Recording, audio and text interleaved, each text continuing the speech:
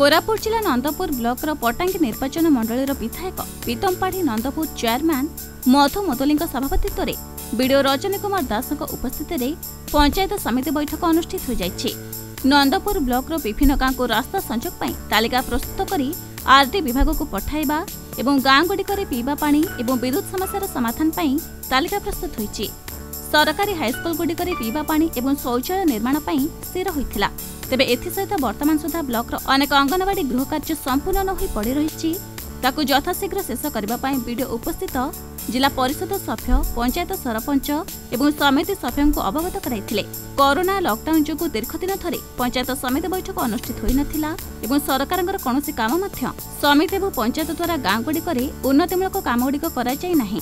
বর্তমান পঞ্চায়েত প্রতিনিধি মানক কার্যকাল পাঁচ বর্ষ শেষ হওয়া যাচ্ছে এই অল্প দিন মধ্যে পঞ্চায়েত সমিতি এবং পঞ্চায়েত স্তরীয় নূতন কার্যক্রম কার্যক্রমগুড়ি লোক দ্বারা করা বিডিও ও এইঙ্কু জনাইলে প্রতি পঞ্চায়েত গুড়িকরে যোজনা তৈরি করে সরপঞ্চ মানে কাম করা এবং ঠিক সময় শেষ করা বিডিও উপস্থিত থাকা পঞ্চায়েত প্রতিনিধি জনাইলে তবে সমিতি বৈঠকরে সরকারি কর্মচারী এবং তেইশ কোটি পঞ্চায়েতর সরপঞ্চ সমিতি সভ্য জেলা পরিষদ সভ্য সমিতি মেম্বর উপস্থিত রয়েছে